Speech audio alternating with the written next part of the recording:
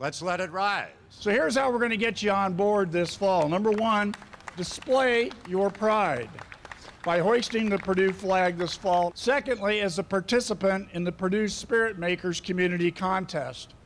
Submit a photo of your home, your business, or your neighborhood decked out to support the Boilermakers.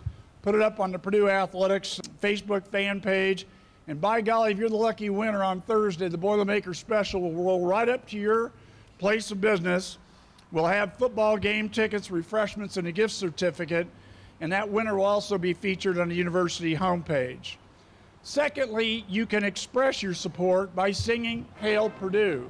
That venerable song will be 100 years old this year. It's on August the 13th, our new freshmen, as part of their orientation, will officially launch the period of Boilermaker revelry with a flag raising at Ross-Ade Stadium that will continue to the first football game on September 1st and each Friday and Saturday thereafter.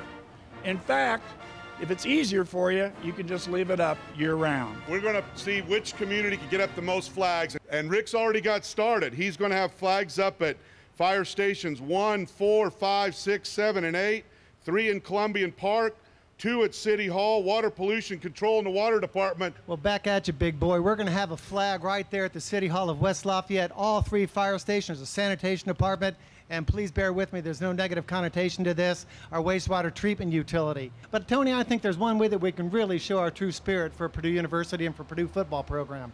Tony, I still think has one year of college eligibility left to play football. I've go, got four. And with a body like this, I think I can make Bart Burrell's record look like nothing. So what do you say, buddy? Let's we join up with the team, shall we? All Fire right. on, Both man. communities, help Purdue.